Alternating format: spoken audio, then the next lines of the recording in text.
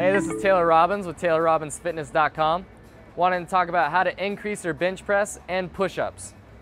So really both of these things that if you want to increase in strength or in reps, those are two separate approaches.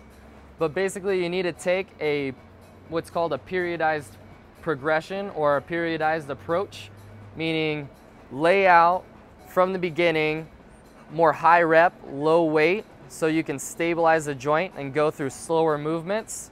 Progress then into a slightly heavier weight or higher resistance with less reps. So now you're maybe in, in, like an 8 to 12 rep range, which is more of a strength phase. And then you can slowly start creeping into lower and lower reps with higher resistances.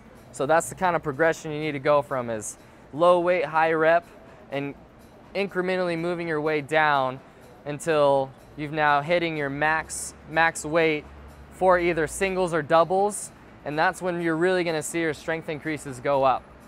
I hope that helps. Super simple and straightforward. This is Taylor Robbins with TaylorRobbinsFitness.com and ExerScribe.com. Thanks for watching.